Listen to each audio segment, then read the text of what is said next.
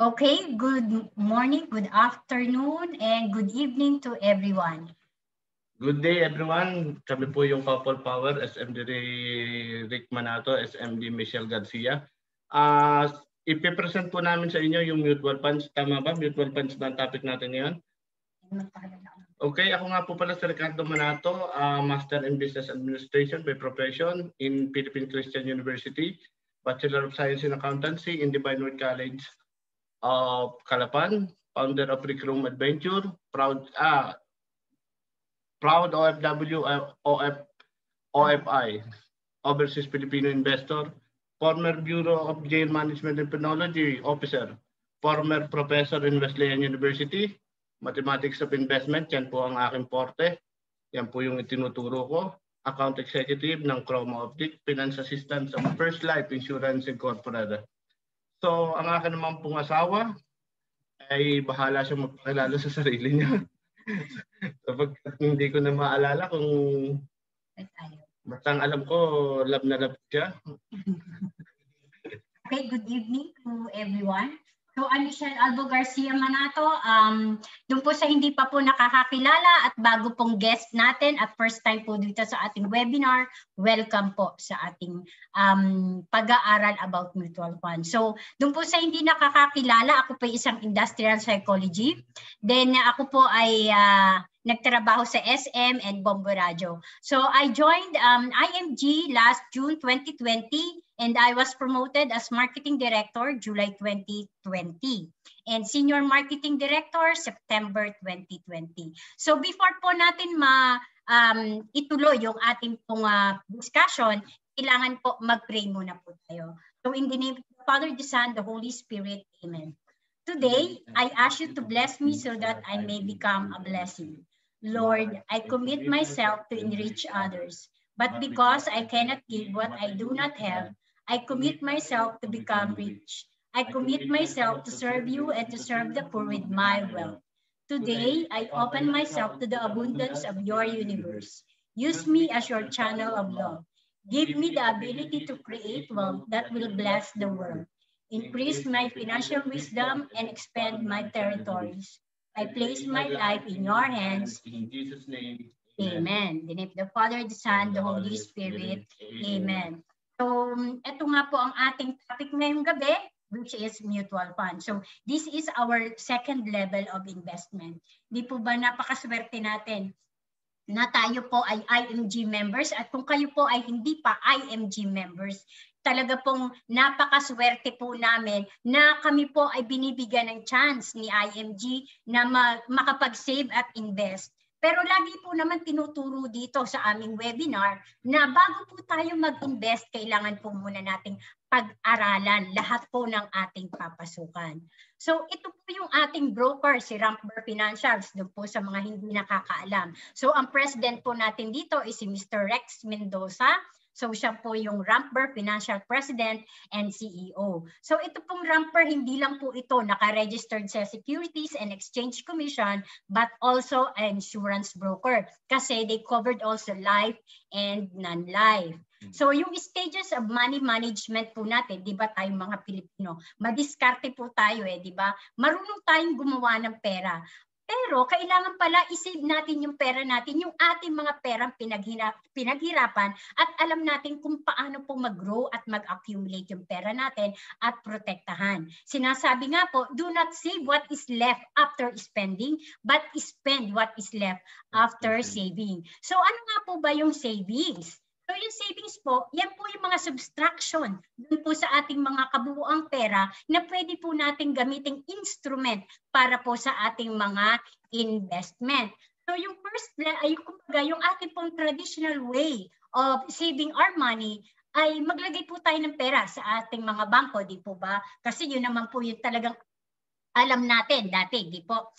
Uh, kumbaga, uh, hindi po natin namamalayan na ito pa lang si bangko eh ginagamit din pala po yung ating mga pera sa different financial vehicles and also different savings. Kumbaga, sila po yung kumikita. In return, hindi naman po binibigay sa atin kung ano man po ang kinita nila. Instead, still less than 1% ang kanilang uh, nakukuha, ang ating pong nakukuha. Uh, in reality, 0.0625 na lang po ang kikitain ng pera natin para na lang po tayo naglagay sa ng pera sa piggy bank pag tayo nagpapatago sa bangko.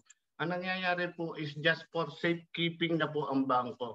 Remember, safekeeping is different from investing. It, it is different from saving and investing. Uh, inuulit ko po, safekeeping na lang po ang paglalagay ng pera sa bangko. Kumbaga, at katulad ng mga mayayaman, hindi na po nila dinadala sa bangko yung pera nila, invest, nilalagay na lang po nila sa mga vault nila kasi ang tsuri po ngayon ng, ng paglalagay ng pera sa bangko is safekeeping, meaning kung meron ka namang ano, meron kang security guard, meron kang vault sa bahay mo, so po pwede na. Kumbaga, uh, yung pera mo na uh, tawag dito, yung kailangan, kailangan mo, kumbaga emergency fund mo, ilagay mo na lang sa bahay kasi wala na rin nangyayari sa bangko. Ngayon, ituturo po namin sa inyo kung saan po ba po pwedeng ilagay ang pera natin na po pwedeng maging investment o mapalago sa halip na ilagay lang ito sa bangko. Asawa ko. So, okay, we have this one, yung ating pong concept na itinuro po ni Bong 100% pala po ng ating kita, dapat yung 10% ibigay po natin yung tithes natin kay Lord. I, kumbaga yung ating pong blessing, ibabalik po natin. Hindi naman ibig sabihin na lahat po ibigay natin yan sa simbahan. Kumbaga magtumulong tayo sa ating mga kapwa, dun sa ating mga uh, less fortunate na kamag-anak, sa mga may sakit. So that is also a form of tithes. At yung 70% lang po ng ating kita, yun lang po dapat ang ating uh, gagastusin sa lahat po ng ating expenses. And the last is yung 20% dapat pay yourself. Hindi ibig sabihin, bumili po tayo ng mga mamahaling bagay. But the best thing to do is to save and invest. By the way, asawa ko, sino ba si Bo Sanchez? Bakit natin kailangan sundin yung kanyang golden rule? Uh, a little bit, uh, bigyan po natin ng pasada kung sino po ba si Bo Sanchez. Si Bo Sanchez po ay isang minister na nagpapahayag ng salita ng Diyos. Ibig sabihin, uh, he reveal, nagsusulat siya ng mga salita ng Diyos, nagpapahayag siya ng mga ng tungkol sa kabutihan. Pero sinasabi nga niya, nung siya ay napapunta sa isang Islam area, paano ko tutulungan ang mga mahihirap? Samantalang ako rin ay isa ring mahirap. Doon po nagsimula yung kanyang ano, yung kanyang will na magturo rin. Hindi po kasi hindi daw pala po, po pwede na palaging salita lang ng Diyos o kung ano pa ba yung po pwede nating uh, yung sinasabi nila na mag-aral tayo ng Biblia, isabay po natin yung pang-araw-araw nating kabuhayan, paunlad, paunlarin natin yung pang-araw-araw nating buhay para tayo ay makapaglingkod ng mabuti at may maibigay tayo dun sa nangangailangan. Diyan po nagsimula si Bo Sanchez. So, kaunting trivia lang po yan. Okay, so ano po ba yung investment? So that it will generate income and appreciate value in the future. So marami po tayong pwedeng paglagyan ng ating mga investment like securities, mga bonds, uh, financial currency or income. So marami po na pwede po nating paglagyan ng ating mga investments. Bigyan ko po kayo ng a, a, a little overview of this investment. Ah, kaunti lang po, isa pong pa, mabilis na pagtalakay kung ano po ba itong bonds, securities, contributions, and funds and cash. Ang bonds po, ayan po is, kumbaga, uutang sa inyo yung kumpanya or uutang sa inyo ang gobyerno, in return, babayaran ka ng interest. Ano po? Ang securities naman po, isa kang kabahagi o kasosyo ng isang kumpanya in return, bibigyan ka ng dividendo or pag tumaas yung presyo ng binili mong securities, doon kakikita. So, ang contribution naman po, it's just like, halimbawa, may mga uh, ano tayo, uh, isang gover, uh, sabihin natin hospital, magbibigay ka ng contribute ng contributions in terms of money or other assets, in return, bibigyan ka naman ng uh, bayad. So, uh, malinaw na malinaw po na sinasabi na ang investment ay kikita ka in the future or lalago o kung sinatawag natin yung presyo ng nabili mong uh, assets ay magkakaroon ng higher value in the future. Okay? So bakit nga po ba kailangan nating mag-save at invest? So ang unang-una po na lagi nang pinapaalala ni IMG ay para mabit po natin itong inflation. Makikita niyo po halos taon-taon tumataas po ang ating inflation lalo na po ngayong time of pandemic. At ipapakita ko po sa inyo ang latest inflation rate of the Philippines. Balik mo asawa sa amin. Okay. Another overview of inflation. Inflation is synonyms to expense. Bakit ko po nasabi yan? Or yung parang sa accounting point of view, depreciation expense. Kasi halimbawa po yung isang bagay, ang presyo niya ngayon is 1,000. In the long run yan ay eh, paliit ng paliit. Ganon din po yung inflations. So pagkat ganito po, ilagay mo doon sa, ano, susunod. Okay. Ito po, uh, tingnan po natin yung 2021. So makikita po natin January, February, March hanggang June is almost constant. Ibig sabihin 3% yung inflation rate. Ano po ba ang impact ng inflation sa sweldo nyo? Ang impact po ng inflation sa sweldo nyo, 3% na value ng pera nyo is bababa yung buying power ng pera nyo because of inflation. Ibig sabihin, it's either tumaas ang presyo or uh, tumaas ang presyo ng mga bilihin nang hindi naman ng kumbaga, nang wala tayong pakialam, hindi natin siya pwedeng pakialaman o wala tayong control. Meaning, paano po natin mabibit yung inflation? Or bakit ba natin pinag-uusapan dito ang inflation? Meaning ganito, kung yung 25,000 nyo nabawasan ng 3% because of inflations, hindi nyo na mabibili yung halagang 25% na 25,000 ng sweldo nyo ano po ang gagawin natin? It's either magdagdag tayo ng ano, ng pagkikitaan o ng passive income in order to beat the inflations or magbawas tayo ng gastos. Or yung mga uh, investment natin is kumita supposed to be dapat ng 3% or more para siya po yung mag, magiging koperta or ano ba tawag doon? Mag-cover up. Mag-cover up ng inflations. So maliw na, maliwanag na po ba sa inyo yung inflations? Pwede po bang pakichat nga pakichat nga po kung mabilis po ba kami or okay lang sa inyo or magulo kaming mag-asawa. Kasi alam niyo po, kapag kinompute niyo po ito bawat taon ng inflation, makikita niyo yung nawala sa inyo pwede pala natin siyang ibayad sa ating pong mga Kaiser. Doon po sa ating first level of investment. Kumbaga, ito pong mga inflation, kung talagang alam natin yung concept na itinuturo po ni IMG, mas maiintindihan po natin kung magkano man yung nawala po sa atin at kaya po natin yung palitan through um, yung po sinasabi niya na pag-invest sa different financial vehicle, mag-increase tayo ng ating cash flow. So yun po ang dahilan kung bakit dapat kailangan natin na maintindihan ito pong inflation. Naiintindihan niyo po ang inflation. Pipilitan po tayong gumawa ng paraan upang palakihin ang ating sweldo o upang palakihin ang ating kinikita. Kasi ang sweldo po, yan po ay hindi tayo magdidikta. Ang magdidikta po niyan, kung katulad nating mga taga-abroad, ay ang ating mga amo. Pero ang pagkita ng pera, tayo po ang magdidikta sa ating sarili kung paano natin sila palalakihin. Tama po ba? Kasi sinasabi nga po, uh, wala pong yumayaman sa basta lang po savings. Kailangan i-invest din po yan natin. So marami po tayong financial goals kung bakit gusto nating mag-save at invest. Ang una po ay ang emergency fund to fall back on. Di ba? Tinuturo po sa atin dito kay IMG, wag nating gagawing uh, emergency fund yung pamilya natin, yung mga anak natin. So kailangan ito po ay ating paghandaan. Napatawa ko doon sa sa words na to fall back on para lang bang jowa yun? Hindi. okay. Yung emergency fund po na tinatawag na to fall back on, siya po yung sasalo kung sakali po tayong may emergency. Siya po yung magbibigay sa atin ng suporta. Siya po yung magbibigay sa atin ng buhay upang ipagpatuloy natin ang ating ang ating buhay o ang ating uh, yung mga bagay-bagay na kinakailangan natin.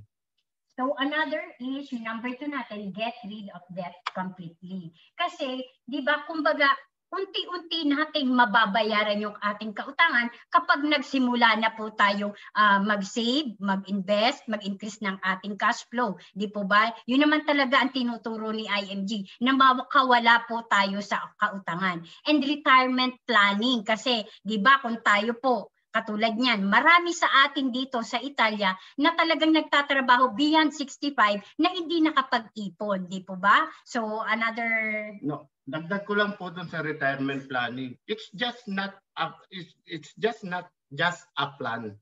Kinakailangan po natin retirement, i-execute po natin yung retirement plan natin. Sapagkat ang retirement po hindi po yan napipigilan sapagkat ang retirement po ay ang pag edad natin. So, it's not just retirement planning. Dapat po yan is retirement plan, plan for your retirement and execute it. So, okay. So, the next is getting insured. Di ba? Tinuturo po sa atin dito kay IMG. Uh, ah, wait.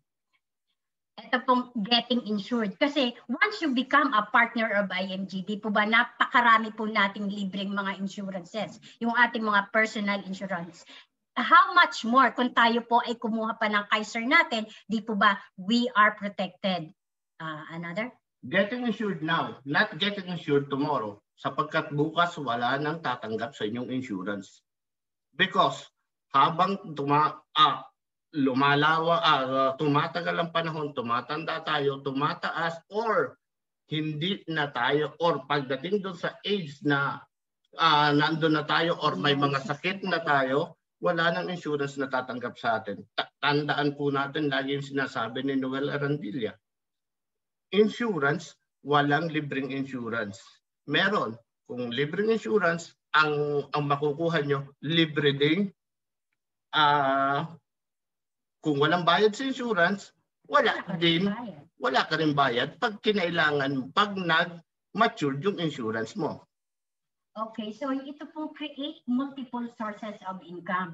Kung naaalala niyo po noon na sinabi din ni Coach Ann na kailangan natin mag um, mag-create tayo ng multiple source of income, tama po 'yun. Kasi nga hindi naman natin marireach yung ating goals kung magpe-permanente lang po tayo o umasa lang tayo sa sweldo natin. Di ba katulad po dito sa Italia, from the year 2000 hanggang ngayon, hindi naman pa po tumataas ang ating um, mga sweldo kung hindi po tayo mag-e-extra income. So dito po kay IMG, tinuturuan tayo through the help yung ating 48 benefits. From there, ma- magkakaroon na po tayo ng multiple sources of income. How much more kung i-share pa po natin yung ating ating Kaiser, di po ba? At mag-invest po tayo sa different financial vehicle. Additional? Tama po. Si IMG po, sa loob pa lang ni IMG, napakarami na po ng income na ating pwedeng makuha. Next. So stock market, so pwede rin itong ating form of our business kasi kailangan po natin dito ng TIN, ng TIN number. Ito po yung sinasabi nating direct stock market. Kumbaga ito po yung isang paraan kung bakit ang mga wealthy people eh nananatili po silang wealthy. So ito pong stock market where the buyers and sellers met. Kasi ganito po, bakit po ba lagi kong ini-insist pagdating sa, sa mutual funds ng stock market? Mamaya po malalaman nyo. I-discuss ko po sa inyo kung bakit at nagtumataas o bumababa ang NAVs through the stock market. Sapagkat si stock market po, that is the base. Siya po yung pinaglalagyan ng pera ng ano na na na mutual funds company para lumago ang pera natin. Okay, when you become a partner of IMG, magkakaroon po tayo ng access dito kay MyTrade by Abacus Securities Corporation. So meron po tayong separate topic dito kung natatandaan niyo po yung dineskas natin uh, three months ago o four months ago. So kung gusto niyo po itong pag-aralan, meron po tayong YouTube pwede po kayong humingi sa amin ng aming link. So this one, ito po yung sample ng ating dashboard kapag po tayo inaaprubahan ng ating application in MyTrade. Okay. Diretso lang po. Uh, stock market index po yung ano, uh, measurement kung tumataas ba o bumababa ang ating stock market. Bakit po mahalaga yan? Sapagkat sa pagtaas ng market index, ibig sabihin pagtaas din po yan ng NABs ng ating ano, mutual funds. Sapagkat ibig sabihin lang po niyan is lumalago ang ekonomiya. Lumalago ang ekonomiya, mas maraming perang umiikot. So, yan po yung kahalagahan ng stock market index. Kasi yung stock market index po, doon natin maiintindihan yung level ng mga presyo ng mga trend, yung movement ng mga stocks, at saka po siya yung ating indicator, yung performance po ng economy and sector of economy na ipapaliwanag po natin mamaya through our PI pagka po nakapunta na tayo doon sa ating uh, mutual fund topic. Okay? So meron po tayong risk profile. Bakit ba kailangan natin aralan kung ano ba ang klase tayong um, investor. Unang-una po, conservative. Kung makikita niyo po dito sa ating illustration, kumbaga malaki ang parte po ng cash, yung viola, yung violet. Okay. So kasi, pag conservative uh, investor ka, takot ka na yung puhunan mo mawala. So ang, ang tendency po ay ating uh, mag-invest tayo dun sa mga uh, sigurista, kung yung mga siguradong kikita yung pera natin, kahit mabagal siya, at least, di ba, iniisip natin, yung pera natin hindi mawawala at sigurado yung kita natin. And another um, risk profile is moderate. So kapag moderate, kasi um, you are investing both on the bonds and sa stocks. Kumbaga, alam mo na yung uh, stocks anytime will fluctuate. Kaya kumbaga, both yun ay inyo pong sinusubukan. In case of aggressive investors, uh, kumbaga, they are willing to risk kahit po mataas yung risk, pero kalimitan po ng mga uh, investor ay nag invest sa stock market. Okay. Bakit po ba natin pinag-uusapan itong risk profile? Sino po ba ito? Ako po ba o kayong nakikinig? Sinasabi ko po direkta, uh, direkta sa mga nakikinig ko, kayo po ang ang mini-measure nitong risk profile. So, parang sinasabi ko po sa inyo na kayo ay dapat ditong mag uh, mag mag-concentrate ng investment o kaya nyo itong investment na ito because of your high risk profile or because of you are a low risk profile or you are a moderate conservative, ito lang ang kaya mo. Sapagkat ang investment is not just it's not just putting money in in a bank. It's that it's, it's not just putting money in the mutual fund company. It's not just putting money in the stock market. Sinasabi din diyan kaya mo ba yung ginagawa mo? Kaya ba ng ng kaya mo bang makatulog Okay, sinasabi mo, because Ricardo, si Sir Rick, ganito ang ginagawa niya. Tumataya siya sa stock market, tumataya siya sa mutual funds, tumataya siya sa bonds, tumataya siya sa uh, other highest highest form of of of investment. 'Di ba? Bakit hindi ko rin gayanin? No, it's not. Kaya ko tinuturo, kaya namin tinuturo namin tong risk profile, hindi po pwedeng dahil ginagawa ni Sir Rick, gagawin mo rin. Baka kasi si Sir Rick kayang matulog even though yung risk profile mm, o oh, yung pinaglagyan niya ng pera ay napakataas ng risk. Dahil sanay na siya, yung risk profile niya is aggressive, napakataas. So hindi po, po pwede na ikaw, como si Sir Rick ay ganito ang ginagawa, po pwede nyo rin gawin. Na, nakuha nyo po yung logic ng risk profile. It's you, not me. It's, it's one of us. Kumbaga, ito tayo, bawat isa.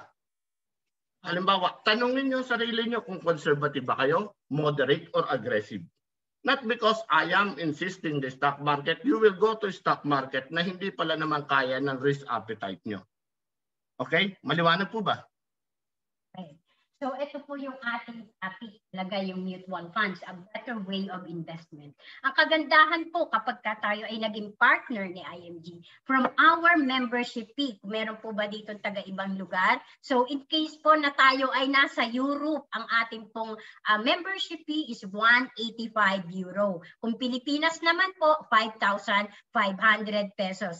From our membership fee, yung 1,000 pesos po um, ilalagay po yan sa ating mutual funds, doon po sa ating Soldivo Strategic Growth at tayo po ay automatic na investor na. Kumbaga ito pong mutual funds, kung tayo po ay 31 participants dito, pagsasama-samahin po yung ating mga investment regardless kung magkano man yon and the fund manager will invest it to different securities at kung ano man po ang kitain ni mutual funds, ibibigay po yan sa bawat isa. Alam niyo po, mutual funds historically nagigain po yan ng 12 to 22%. Okay, discuss ko rin po mamaya. Meron po tayong mga his, history, may may prepare po ako ditong history ng NABs. So, through NABs po makikita natin kung kikita ba tayo o hindi. Okay? Okay, yung advantages po ng ating mutual fund, simple to invest, di po ba? Binanggit ko nga sa inyo, once you become a partner, napakasimple po, you are automatically investor of Soldivo Strategic Growth Fund. And professionally managed, kasi nga po, meron tayong fund manager na mag-aasikaso po ng ating mga investment and offers, uh, offers diversification. Hindi ibig sabihin sa isang company lang po tayo nag invest Meron po tayong top 10 holdings, meron po tayong different sectors and indices na pwede po paglagyan ng ating kaperahan, depende po yan sa ating fund manager and conveniently administered. Kasi nga po itong si IMG bibigyan tayo ng portal kasi kapag binigyan po tayo at naging partner na, may username and password po tayo na pwede po tayong pumasok sa ating portal at makikita niyo po doon araw-araw. Di po ba? So yan po yung itinuro kaninang umaga po sa atin ni GJ Rona, yung po sa ating new members orientation about the portal and gives higher returns kasi nga po uh, mutual funds pwede po tayo dyan mag-gain ng 12 to 22%. No cost management ito po, uh, discuss ko ito ng konti. Medyo, ano po ito, uh, technical. Bakit po ba tinawag na low-cost management ang mutual funds? Ganito po. Kasi po, si mutual funds, hindi po siya ganun kataas yung overhead expense.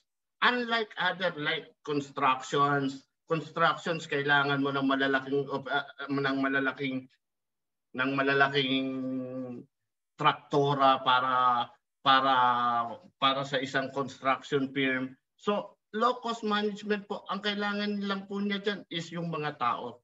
Yung pera at saka yung, yung finance manager. So, napakababa po ng cost management niya.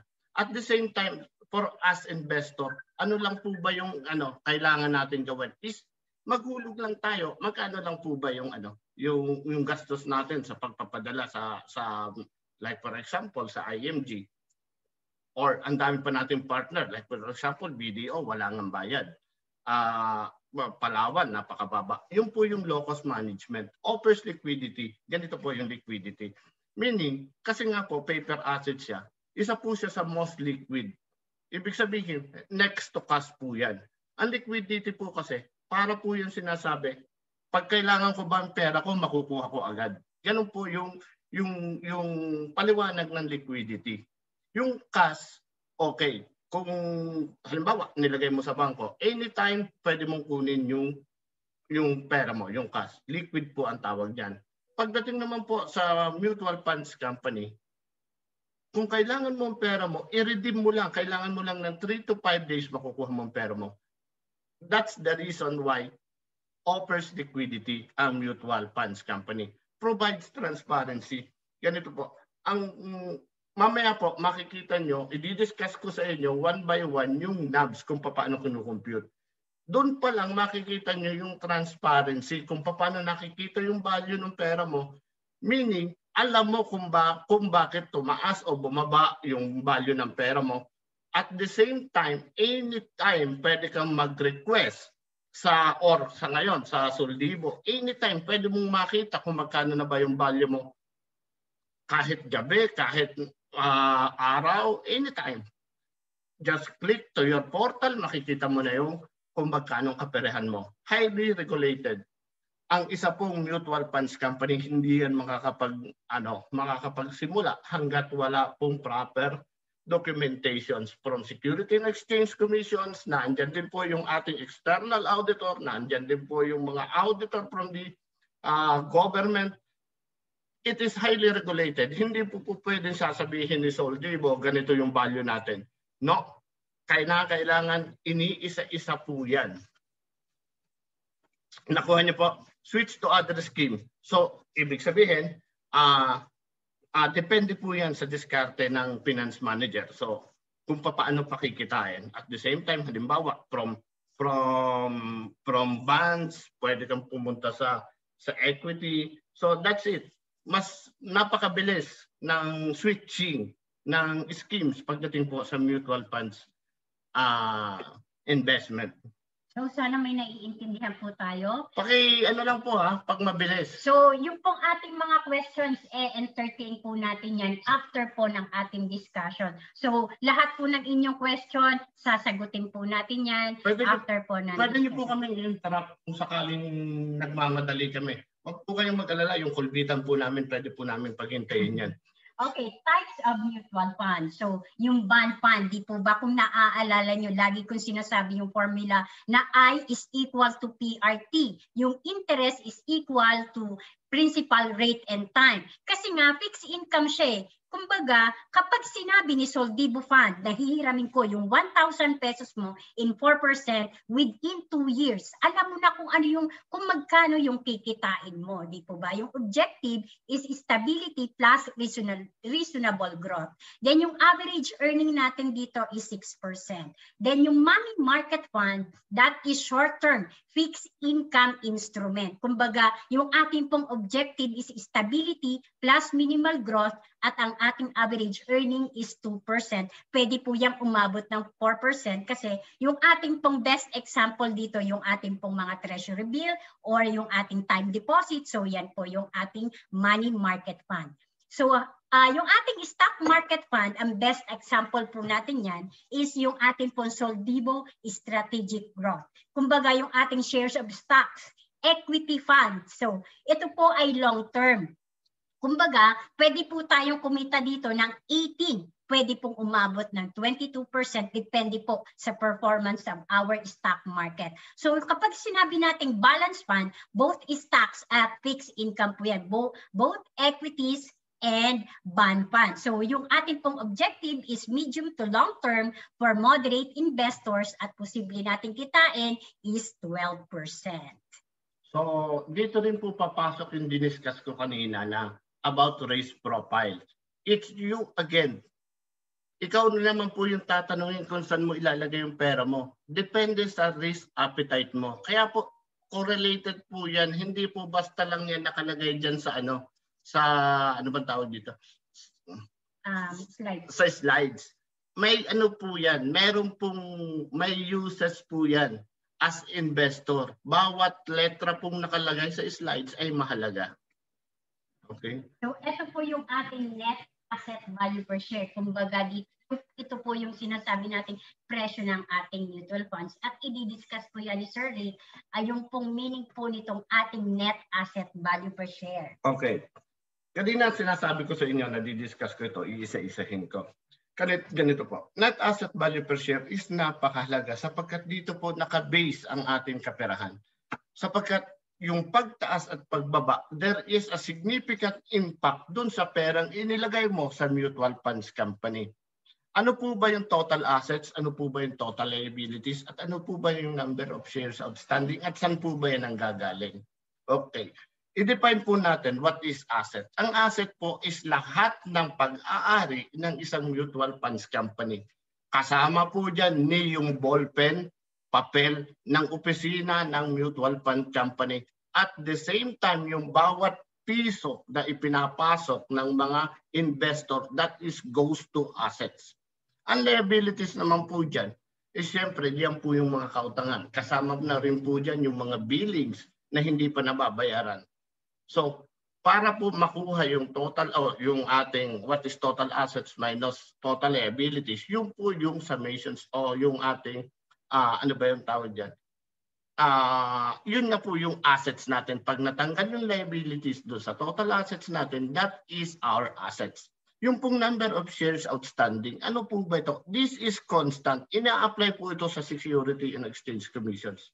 Like for example, the Soldivo funds, pinapayagan siya na magbenta ng 15, like for example, 10 billion outstanding shares. Yun lang po ang po pwede niyang ibenta, yung number of shares outstanding na ibinigay sa kanya within a year. Pagkatapos niyang ma- maibenta yun, kahit tapos na po, ah, kahit marami pa po siyang pumapasok na ah, pera galing kay IMG bilang ah, sa para sa ating mutual funds company, hindi na po siya po pwedeng mag-request pe, an, hindi na po siya po pwedeng magbenta ng another shares of outstanding. Kumbaga, kung 1 billion pagkatapos ng 1 billion, bakit po ba tumataas o bumababa? Ganito po yan. Since this number of shares outstanding is constant, once na tumaas yung assets, bumaba yung liabilities, meaning tataas din po yung value ng NABs. Di po ba? Simple mathematics. Pag tumaas ang, paano po ba tataas yung assets? Una, tumaas ang investor. Dumami yung nag-invest. Dumami ang nagtaga-IMG na naglagay ng pera. Or dumami yung mga IMG na naglalagay ng pera since naintindihan na nila what is mutual funds, nagdagdag sila ng perang inilalagay sa sa sa soldibo. Liabilities, Siyempre, hindi naman po yan ang mangungutang kung hindi niya kailangan. Meaning, kung constant yung liabilities mo, tumaas yung assets, tataas yung asset niya divided by the constant number of shares, ano magiging resulta? Tataas ang net asset value per share. Bakit po dinidiscuss ko sa inyo kanina si stock market? Ganito po. Since inilagay ang assets po is pera, one of the ano uh, one of the example of assets of the mutual funds company is the pool of funds. Okay. Since this pool of is inilagay natin sa stock market, tumaas stock market, tumaas stock market, what is the result of that dito sa formula natin ito? Siyempre, tataas po yung total assets. Meaning, tumaas ang total assets divided by the constant number of shares outstanding. Ano po yung impact niya sa net asset value per share? tataas din po siya. So, kaya po napakahalaga na alam natin kung papaano ang stock market sapagkat direkta pong nakakaapekto ang stock market sa net asset value per share or doon sa mismong negosyo ng mutual fund company. Okay? Naunawaan niyo po or hindi? o may naidagdag po ba ako sa inyo informations? Okay.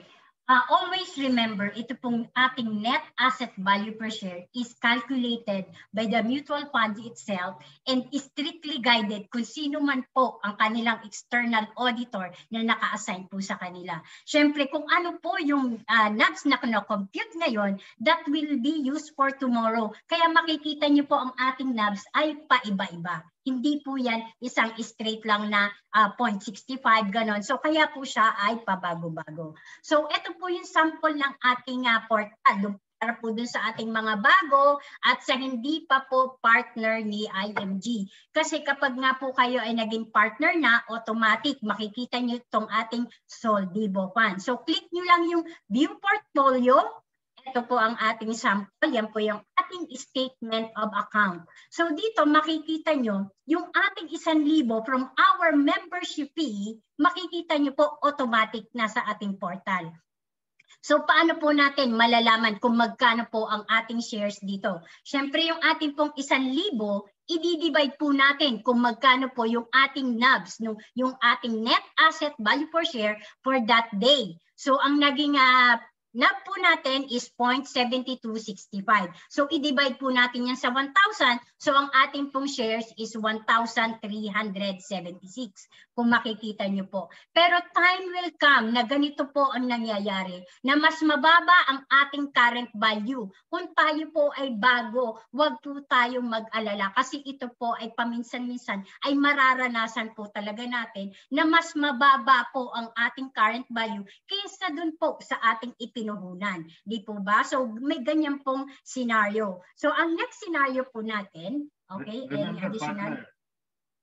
Yes. Pag mataas ang NABs, mababa yung number of shares na makukuha ah, yes. mo. Okay. Pag mababa ang NABs, ang NAB, mas mala, mas maraming share ang makukuha mo. Okay, diretso. So uh, ang ating pong next scenario para po maintindihan lalo natin itong ating mutual funds, di ba? So yung pong ating 1,000 pesos, makikita nyo nga po ito automatic dito po sa ating portal. So ibig sabihin, tayo po ay automatic investor na ni Soldivo Strategic Growth.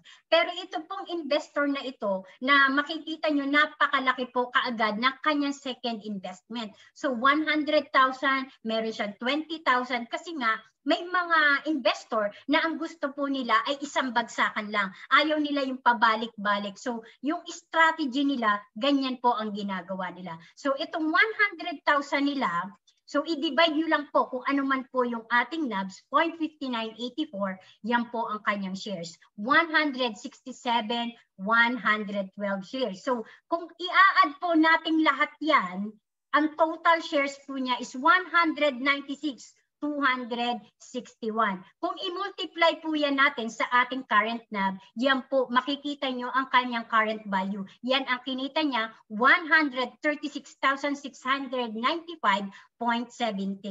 So, kung para makita po natin at maintindihan kung magkano ba yung kinita niya dito. So, ilas nyo lang. Ilas nyo lang po itong current value dito po sa ating amount. So, that is amounting mga 15,000 I guess kung uh, may calculator kayo dyan. So dito po makikita nyo kumita siya ng 13%. So another scenario para po makita natin, di ba tayo mga uh, tayong mga taga-IMG, di ba nagbabudget tayo ng ating Kaiser at kung ano man po yung sukli o yung sobra sa ating Kaiser, yun po ang inilalagay natin sa ating mutual fund. So di ba karamihan sa atin, relate ba kayo doon? Di po ba marami namang ganun sa atin? So dito, ganun ang nangyari sa kanya. So pabago-bago po yung kanyang uh, amount na uh, inihuhulog, yung 1,000 niya, yung initial, plus yung another in, additional investment niya na 9,4 and 8,5. So i-add nyo yan lahat Then ilas niyo po dito sa ating current value. So yung ating pong pag-compute ng ating mga shares, same procedure lang po dun sa una kong pinaliwanag. So basta makikita niyo po yung ating kinita dito, iles po natin itong 20,000 dito po sa amount ng ating inihulog. So ibig sabihin, uh, kumita siya ng 1,006 plus, ganon. So, ibig sabihin, kumita siya ng 6%. Di po ba, mas mataas siya kesa po doon kung ilalagay natin sa ating pong traditional way of saving na ilalagay po natin sa bangko. Di po ba nabanggit kanina ni uh, Sir Rick na less than 1%, almost 0.065 po 625. ang 6 0.0625. Yung po ang ating uh, percentage doon po sa ating savings. Di po ba mas maganda kung ilalagay po natin dito sa ating mutual funds kasi nga po historically pwede po tayong kumita ng 12 to 22%. Another scenario po natin itong ating peso cost averaging. So kung ito pong aming millennial na member, 15,000 lang po ang kanyang uh, sweldo kada buwan. Di po ba na, nakakahanga na isang uh, napakabata na nakaka-interest siya na mag-invest uh, dito po sa ating Soldibo Strategic Growth. Even po, alam naman natin yung kalagayan sa Pilipinas ay napakahirap. Pero nagsisave siya ng 1,000 pesos. Kasi ang kagandahan nga po dito kay IMG, wala pong pinipili kung mayaman ka o mahirap ka, kahit ano pong level tayo, kung may pinag-aralan tayo o wala, ang importante po, marunong tayo mag-save at invest at alam natin yung goal natin. So dito yung peso cost averaging na 1,000 pesos every month ang nilalagay niya. So kung magkano po ang kinita niya, dito po kumita siya ng 10%. Paano po natin malalaman? So ito pong ating current value, iles po natin sa lahat na kanyang inihulog, that is um, 621.70 ang kanyang kinita. Ibig sabihin, kumita po siya ng 10%. Okay? So sana po naiintindihan po natin itong ating Soldivo Strategic Growth dito po sa ating mga portal. So mga kapatid, nakikita niyo po yung actual na nangyari. Actual po ito. Ito na po yung, hindi na po ito yung theory. Pag sinabi po kasi yung theory, ito po yung sinasabi ng libro o ito yung ideal.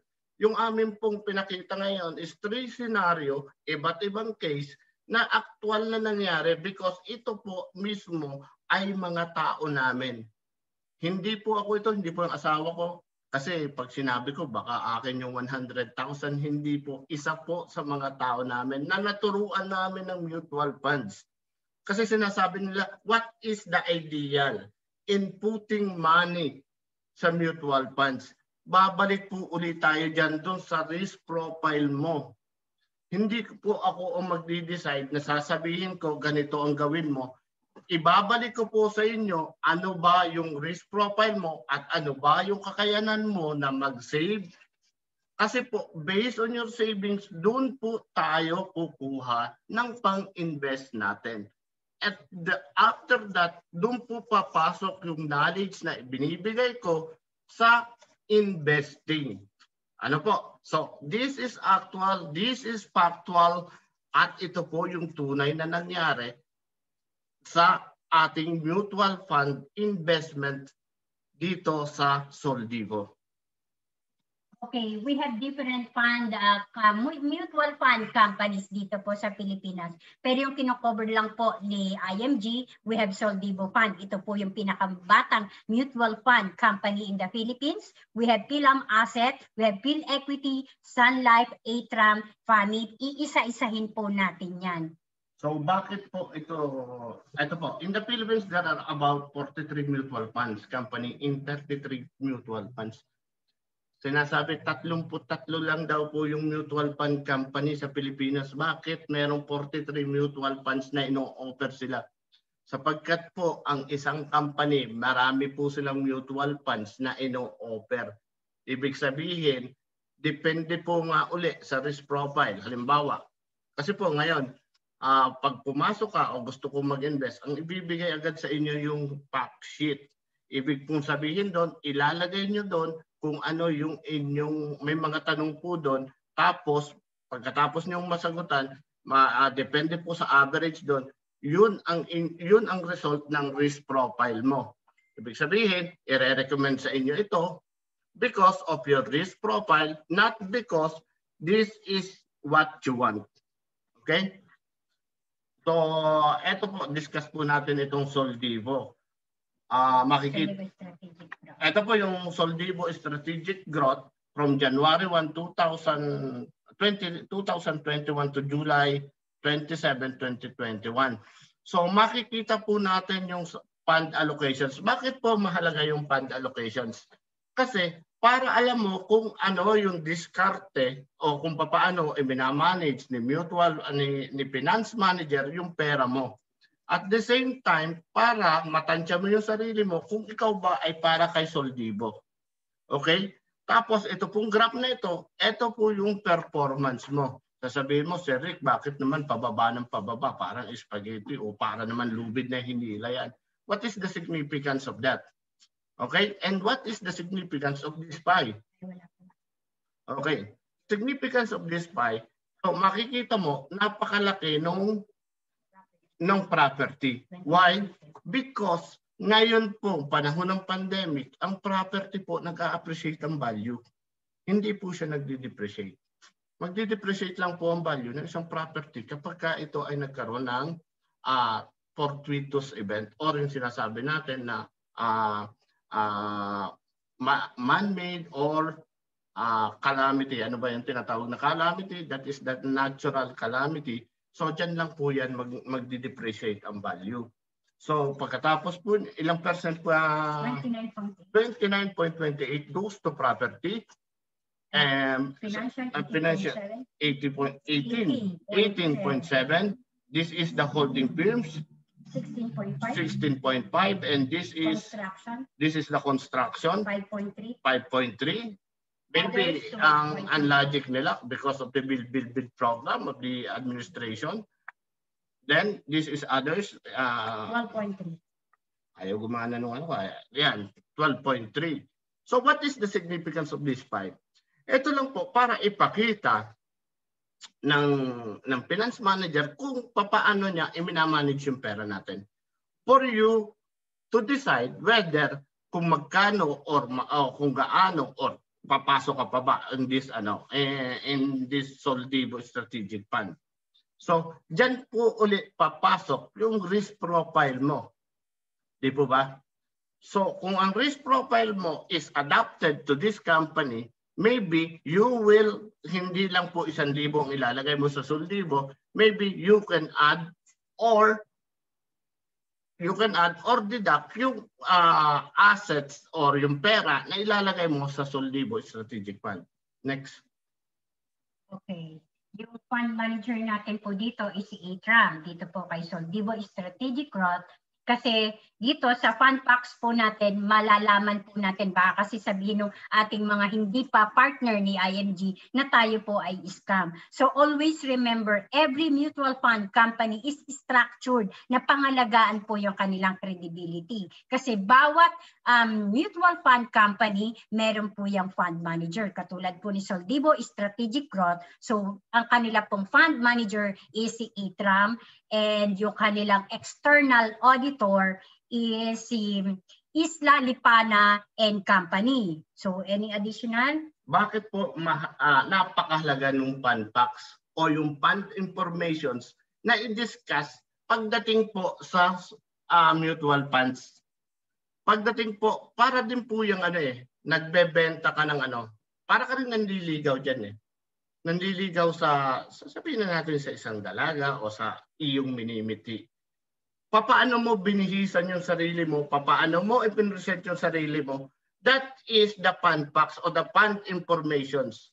Ibig sabihin, kung pangit yung bihis mo, doon kasi malalaman ng isang investor kung dapat ba siyang maglagay ng pera o kung paano ba tatakbo yung mutual funds investment company na inaalok mo sa kanya.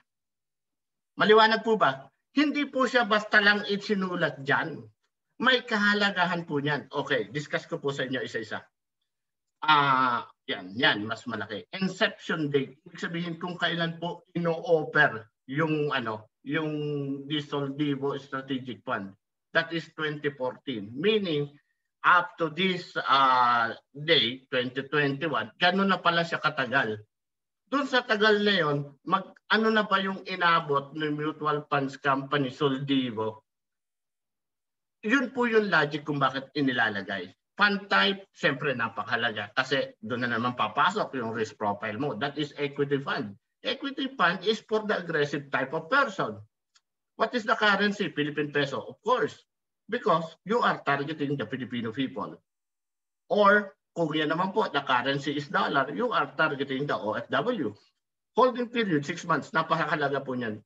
Ibig sabihin, pag nagbukas ka ngayon o naghulog ka ngayon sa sa Soldibo, 6 months hold ma-hold yung pera mo, ibig sabihin, after 6 months ka pa pwede mag-redeem. Pero after that 6 months, kasi ganito po yan eh.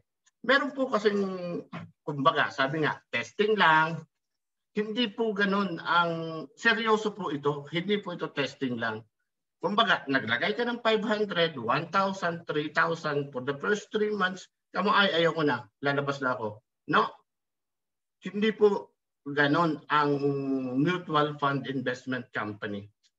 Kinakailangan, kaya po naglalagay sila ng holding period. Di ba?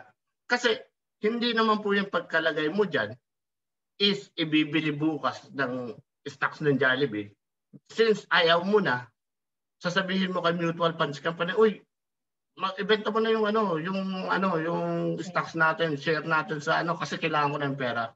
No, kaya po napakalaga ng 6 months holding period. Kailangan natin ipaliwanag sa ating mga kasama o doon sa ating ini-invite na maglagay dito na maliwanag yung 6 months holding period. After 6 months, okay, pwede mo na yan kunin. Araw-araw pwede ka mag-redeem hanggang may pera ka doon. Entry fee, maximum of 3.3%. So, as IMG member, ito po yung pakinabang natin. Unless na kung hindi ka kasi uh, ah, IMG member, halimbawa, naglagay ka ng 1,000, 3% of that goes to Soldivo Fund Ibig sabihin, hindi yung 1,000 na buo papasok sa iyo. Ibig sabihin, babawasan siya muna ng 3%. Ibig sabihin, 3% sa 100, like for example, 100 pesos para mabilis. 97 pesos lang ang papasok bilang investment mo. Yung 3% goes to Soldibo. Yun na po yung pinaka-management fee. Okay? exit fee, ito po. Lagi po tayo, kahit sa pong mutual funds, kahit po sa stock market, meron po tayong tinatawag na exit fee. Ano po yung exit fee? Kapag sa stock market, ibig sabihin po na exit fee is the withdrawal. Like for example, you place your money in the Jollibee corporations. After na ayaw mo na or kumita ka na, like for example, within 3 days, biglang nag-spike, uh, gusto mo na ibenta, pagkabenta mo nun, pwede mo na po siyang withdrawin. Pag withdraw po niya, meron po yung exit fee. Kasi po, siyempre, legal po tayo, nagbabayad po tayo ng uh, income tax sa BIR. Kaya po, ang napakahalaga ng tax identifications number natin pagdating po sa stock market at ganoon din po doon sa mga informations na kinukuha sa atin. Sapagkat tayo po, ibig sabihin, kumbaga, dito sa kung tayo nasa Italy, kailangan yung codice fiscale pagdating sa mga ganyang transactions. Yan po yung exit fee. Etong, ayan. Other, Custodian bank natin is Deutsche Bank and auditor is Lalipana and Company. Very very credible po itong ating auditor kasi hindi lang po mutual fund companies ang hawak nila, also yung mga uh, bangko and different companies. And we have top 10 holdings. Top 10 holdings, meaning po ganito. Yung top 10 holdings, hindi po sinasabi na doon lang ilalagay yung pera nyo. Maaaring etong top 10 holdings dito mostly, limbawa po, uh, in this day we have 10 million. This 10 million hindi po yan i-distribute doon sa top 10 holdings. Lives of this 10 million goes to top 10 holdings and the rest is the other section, uh, sector. Meaning, hindi, ganito po. Mostly yung pera mo papasok dito sa top 10 holdings. Pero hindi lahat ng pera ng Soldibo is papasok sa top 10 holdings. Kasi, siyempre, may diskarte ang fund manager, nakikita nila yung trending ng ano, Hindi, doon ipapasok yun. Okay? So, ito na po yung galawang nabs. Hmm. Eh, pinalaki ko lang po ito doon sa kanina para makita ko kasi mahina na po yung mata ko. Eh. Okay.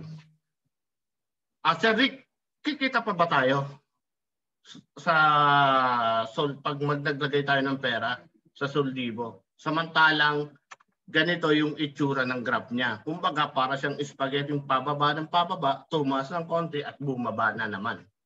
So ganito po.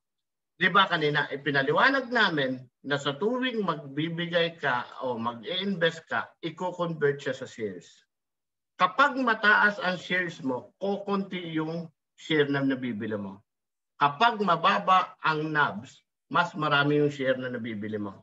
Ibig sabihin, kung ikaw ay dito po nakabili, mas marami kang share na nabibili.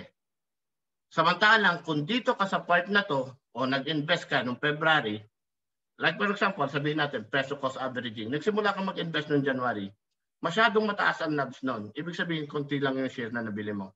Tapos nung February bumagsak, marami kang share na nabili.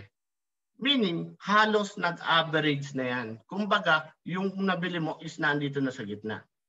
Habang bumababa, tumataas, dumadami yung share mo. Meaning, padami ng padami o pa, padami, habang bumababa siya, madami kang shares na nabibili. The possibility, once na ibenta mo yan, is tumaas siya ng, like for example, dito ka nag, nagbenta sa January 7. Bukod sa marami ka ng share, mataas pa ng konti yung nabs na nabenta mo, napakalaki po ng kikitain nyo. Or sabihin natin baliktad, dito ko dito mo kailangan ng pera sa May 24. Since nabili mo siya, may mga mataas kang nabili at may ano uh, mababa ka nabili, the possibility of here is hindi ganun kababa o hindi ka ganun kalugi even though nasa baba yung presyo niya. Pero ang tip ko po sa inyo, wag po kayong maglagay ng pera na, na kailangan nyo. Meaning, since yun ay pakawalang, yung pera nyo is for your investment, In, meaning, sa future nyo pag gagamitin, pilitin nyo na kapag kayo ay nag-i-invest, nandito kayo sa baba, or mas marami kayong share na nabibili, at kapag ka kayo nagbenta, ang presyo is, kung wala man sa peak, is naandito or nandito sa gitna. Meaning, mas malaki ang kikitain nyo or mas malaki ang kikitain ng pera nyo sa mutual funds. Okay? Soldibo band fund, madali lang yan. Kasi ang ang mutual fund company, lalo na sa bond fund, ang talo mo lang diyan is gaano ba ka-credible yung yung nag-issue ng bond. Diyan papasok yung kung nakikita niyo yung AAA+, A, A+, BBB, CCC. Ibig sabihin, yun yung credit rating. Ibig sabihin, ano ba ang kakayahan ng kumpanyang umuutang sa'yo na magbayad nung inyong pinag-usapan na kautangan. Nakuha niyo po? Pero pagdating sa kwentahan ng pagkita is very simple. Halimbawa, yung bonds, ang bonds po is parang isang maliit na papel lang yan na nakasulat dyan, IO or uh, umu, uh, ito yung napag umuutang ako sa iyo, like for example, 1 million at 3% or 6% kasi bonds yan, 6% at babayaran ko siya within 3 years. Okay? Meaning, for that 3 years, computed mo na kagad, nakikita ka ng 6% per annum. Ganun lang po kasimple yung Suldivo Bond Fund.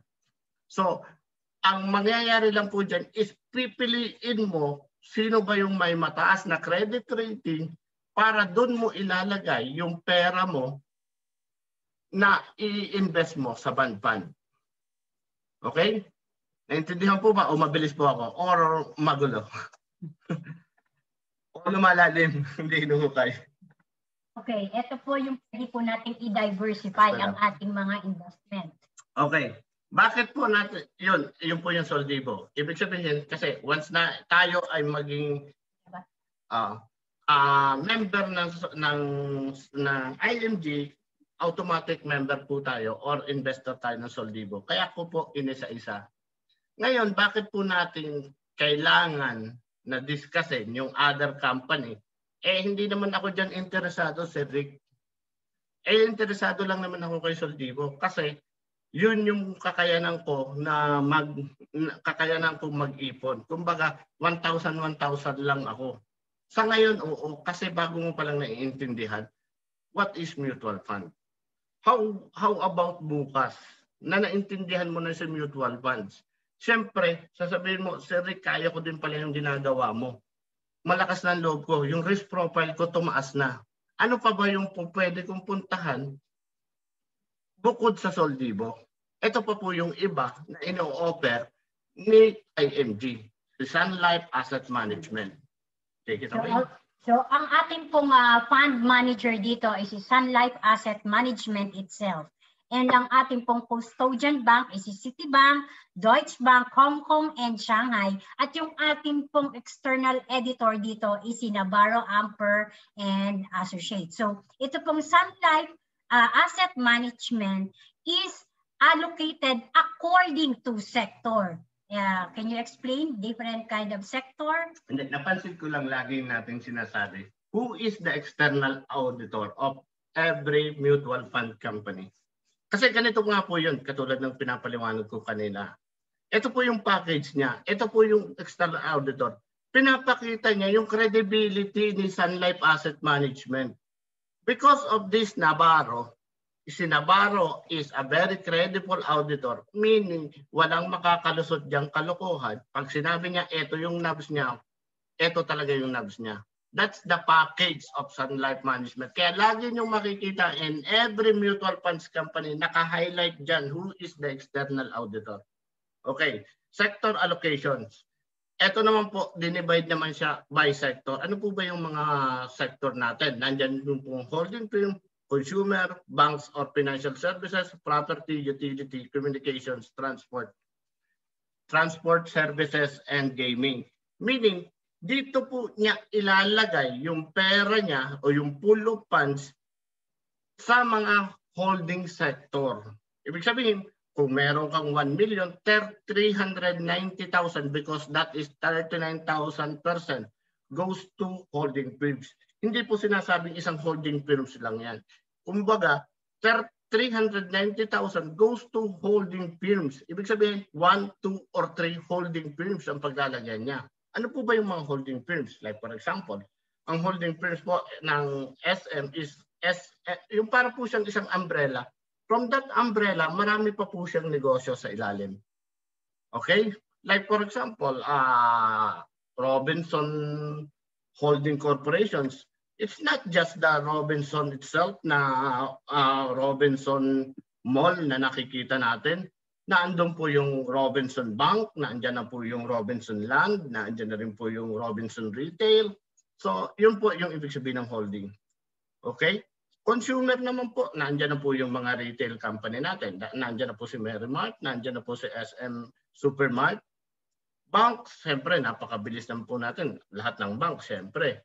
Tapos, uh, financial services, nandiyan po si Call Financial, nandiyan po si, si iRemit, and nandiyan po si Palawan. Yan po yung mga ano natin, financial services. Property, nandiyan po si si SMDC, SMDC nandiyan po si DMCI, nandiyan po si Ayala Land, Ayala Land at nandiyan din po sa IDC. Utility, siyempre, nandiyan po si PLDT, nandiyan po si Dito, nandiyan po si Now, nandiyan po ang Energy, nandiyan si uh, Ayala, yung bagong ano nila, bagong Energy Corporations. Uh, nandiyan din po si Meralco. Yun. Communications naman po. Ah, Siyempre, yan, communications, nandiyan po yung mga internet services natin. Transport services, nandiyan din po si si LBC uh, and others.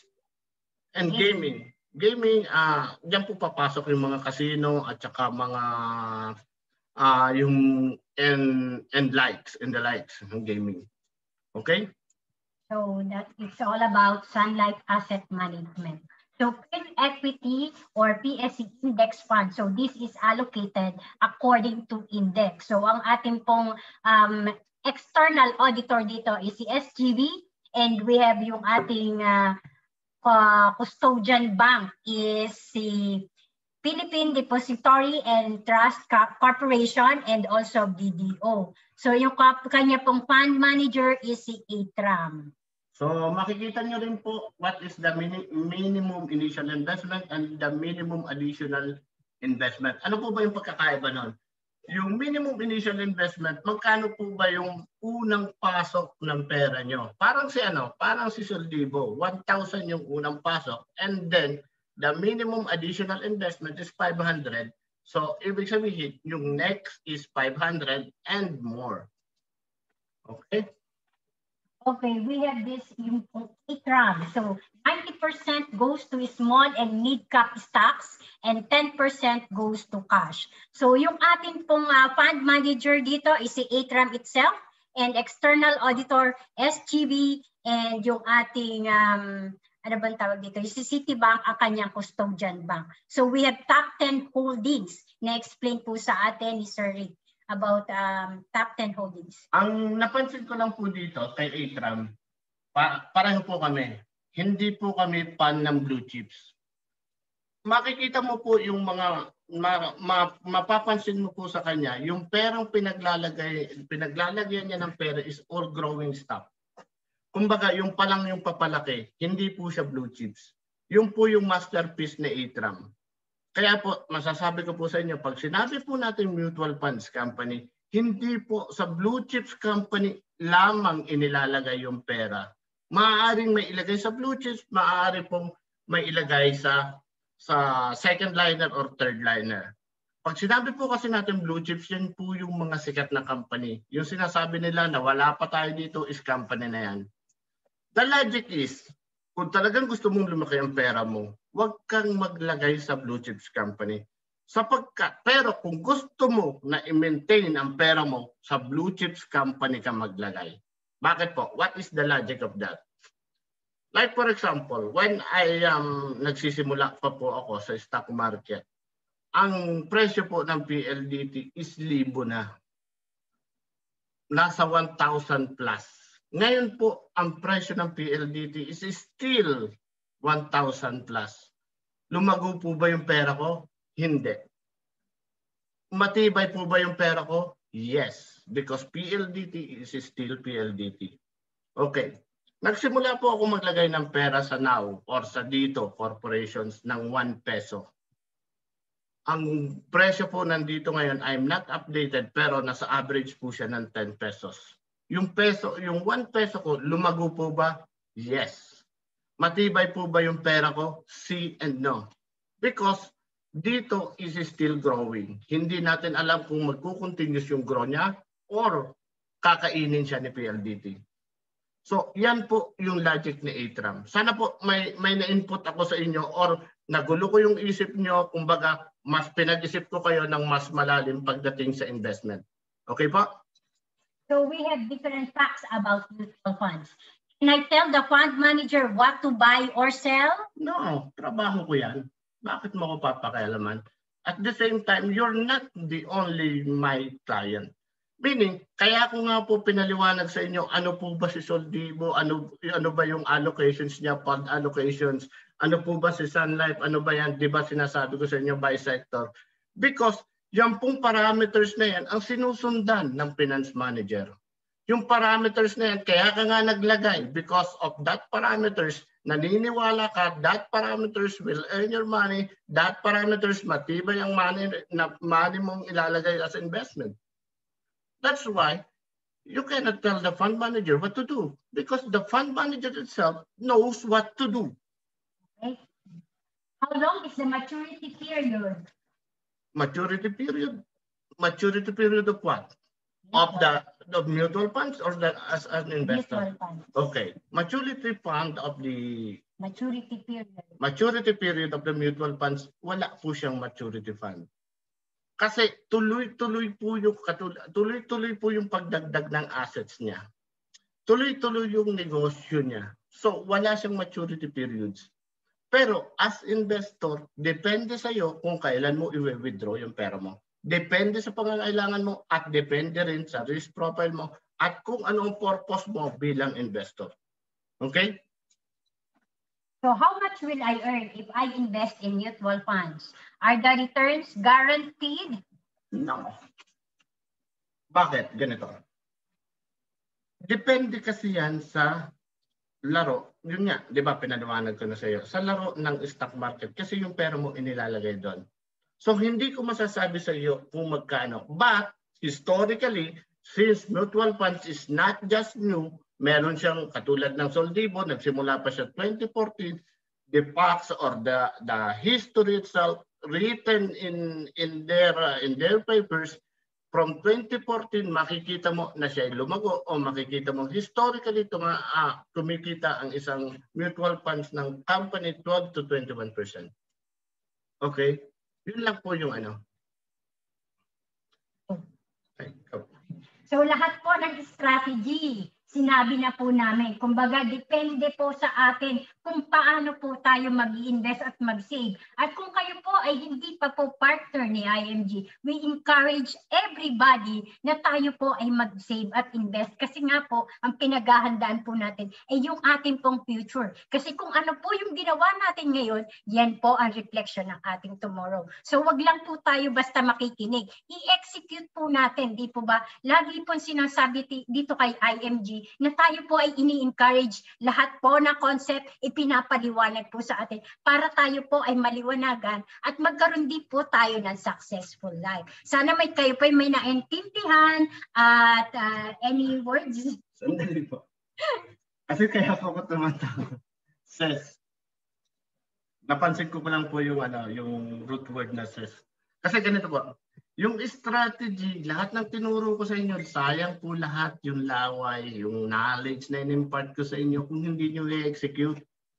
Ibig sabihin, kung walang execution, wala pong mangyayaring success. Kaya po itong tatlong word na ito dapat goes hand in hand. After giving you my the strategy, after giving you the basic of stock market, the basic of mutual funds, you need to execute it's depend upon you, not me. Kasi ako nagsimula na. Ang iniintay ko na lang is yung ladder of success. Meaning, Hindi naman po yan bukas makalwa pag nilagay natin ngayon, bukas makalwa mayaman na ako. Okay? So, may another, may in-impart ka pa? So lahat po ah, ini-encourage namin na tayo po ay mag-invest. So yun nga pong strategy, so i-execute po natin para lahat po tayo ay maging suc- successful. So thank you very much po sa inyong pakikinig. I am Michelle Garcia Manato and uh, I am Ricardo Manato. Ah, shout out po muna sa aking grupo, Team Europa sa YouTube channel. Ah, in-invite ko po sila, hindi ko lang po alam kung nagsipasok po sila. Kasi pero siyempre, thank may, you po doon sa mga umattend ngayon. Sana po kayo may naintindihan. And back to you, CEO and DJ Polly. siya.